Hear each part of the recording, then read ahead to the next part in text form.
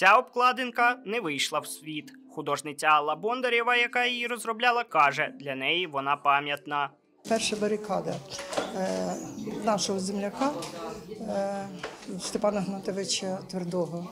На жаль, його зараз немає. Це події, е, перші події Майдана. Ну, він так мені все розказував, потім приніс, показав цю поему. Мисткиня згадує, перша її виставка відбулась чверть століття тому в Баштанці. Нині ж вперше презентує роботи книжкової графіки в Миколаївській бібліотеці імені Марка Кропивницького. Більша частина з них ілюстрації до книг Івана Козака, Мости любові та Калинові іменини.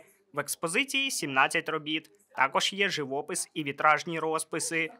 Всього робіт, всього і живопис, е, живопис у мене ще є і розпис, і е, ну, десь уже, мабуть, до тисячі. Надихає природа, е, надихає спілкування з людьми. Ну, Малюю з дитинства.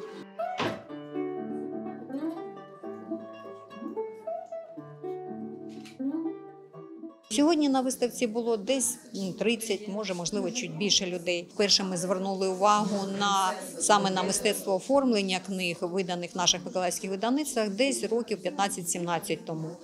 І з того часу ми тримаємо в полі зору ось це питання. Виставка, яка сьогодні була презентована, триватиме до кінця місяця. Підготовка була, була нелегкою, адже ми готувались з грудня 2022 року. Ми планували, ми чекали книжки, які сьогодні ми подарували бібліотеці. Наступна виставка з циклу Берегині України запланована на 15 вересня, говорить Валентина Кривцова. Назарій Рубаняк, Євген Мінаков, Суспільне, Новини, Миколаїв.